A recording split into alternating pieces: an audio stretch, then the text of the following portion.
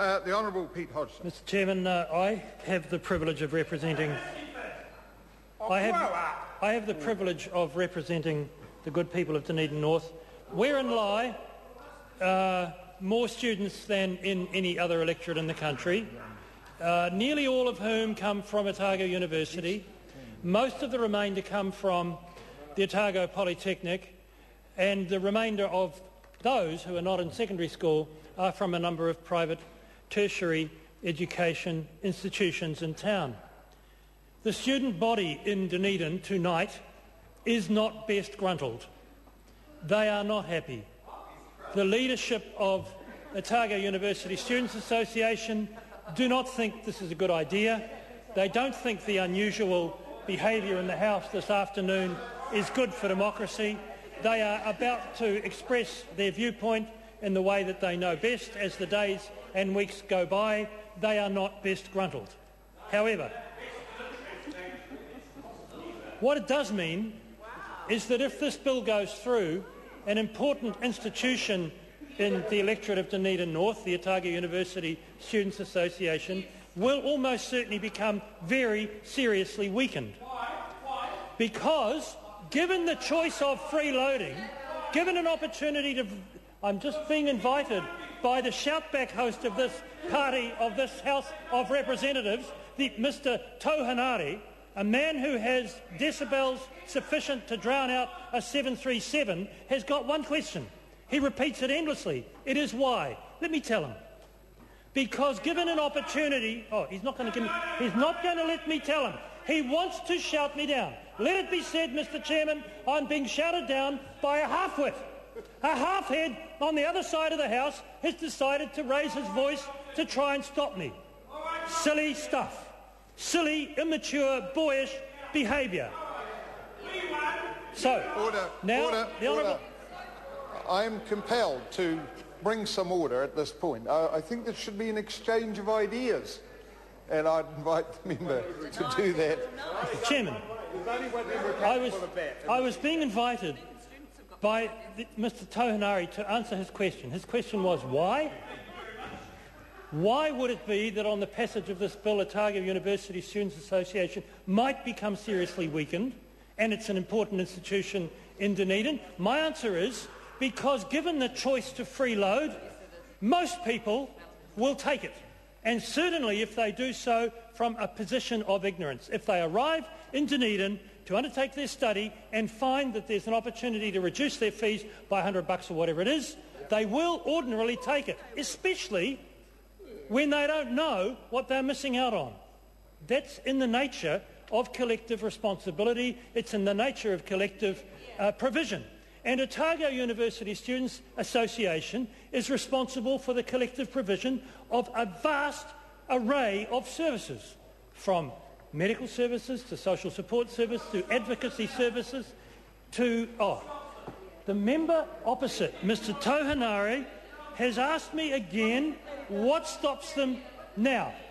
What do I do, Mr Chairman? I need your advice. Do I repeat myself? Do I invite the gentleman? I don't repeat myself. Do I invite the gentleman to get another brain because the one he's got at the moment is lonely? Do I, do I invite him? Do I invite him to raise his voice still further? What am I to do, Mr. Chairman? Let me see if I can try this technique. Let me try and be, let me try and be gentle cop and address my remarks to the minister in the chair. These, this time, I want to address my remarks to the Honourable Heather Roy in respect of Clause 8. And I want to say to her, in seriousness, that a case can be made that there has been a mistake in this clause. Let me spell out my reasoning, if I may. Clause 8 takes a, a, a, a section of the Principal Act, section 236A from memory, and says, in respect of one of the subparts, let's remove the words students' association fees or any students' association fees. In fact, let me read it in case I've made a mistake. Section 236A, brackets 1, brackets A, brackets 1, is amended by omitting, quote, and including any Students' Association membership fees, close quote. What does this mean? Well, one needs to go to section 236A of the Principal Act, which is the Education Act 1989, to find out. 236A uh, of, the, of the Principal Act requires every, every private training institution to basically be honest and upfront about costs. It basically says when a student approaches you, you've got to tell them what all the costs are. So now, Mr Chairman, if I may, yep. let me read from the Principal Act and show what the costs are that must be made available in black letter law as it is at the moment. Here they are. The total fees for each course of study or training, including fees for class or lecture materials. Of course, there may not be lecture materials, but if there are, uh, for books, of course, the student may already have books from their older brother or older auntie or something, but, you know, if they haven't, the costs of those books need to be made available. Special clothing, they may already have the special clothing, but the costs for the special clothing must be made available to them. Safety equipment, the same rule applies, whether they've got it already or not. Tools, whether they have those or not. And any other items that are or may be provided to students enrolled for that course, comma. And including any Student Association membership fees. So this is a transparency kick. This subclause, this subclause in, the, in the Principal Act is a transparency kick. Whether the student is going to have to buy these, that or the other things or not, or wishes to buy this, that or the other thing or not, including the student membership fee, now voluntary, they are to be told in every case except the student, the student fee what the cost is. So if this clause were to pass, the student would be told everything about his or her costs for his or her plumbing course or English language course or whatever, except any student association fee. Now, of course, if there is no student association fee, there's nothing to report or make transparent. But if there is, there's no requirement for the PTE to tell the student about that.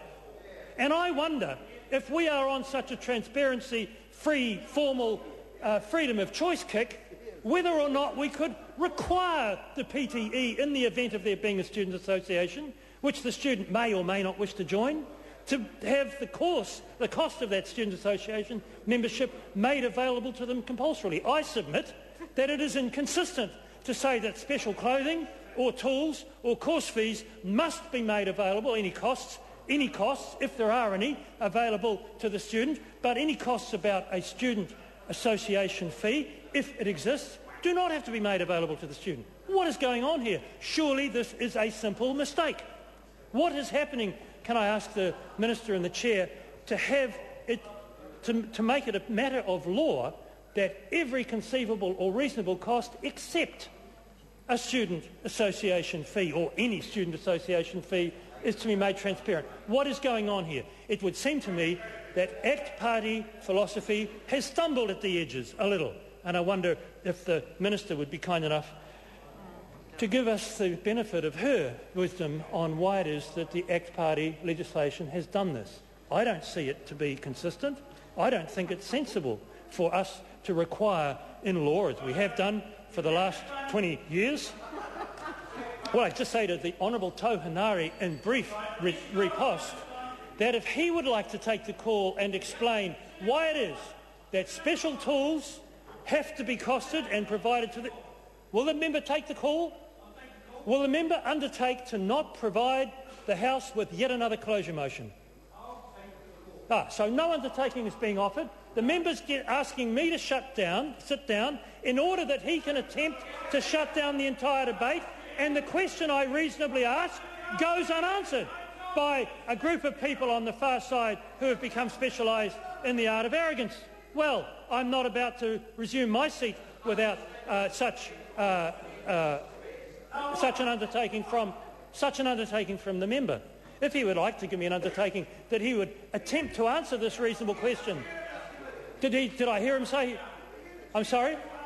Can I just ask the member, did I hear him say he would attempt such an answer? No. I heard him say, hurry up.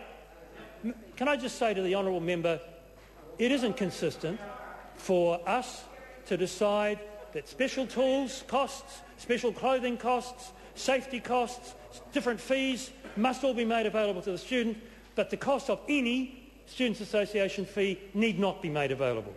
That isn't consistent. It isn't the transparency kick that the ACT Party uh, uh, prides itself on. I would uh, enjoin the Minister and the Chair to take, the, take a call to offer us uh, her views of that matter, but I don't think that that question is uh, an unreasonable one. I think it does need to be addressed.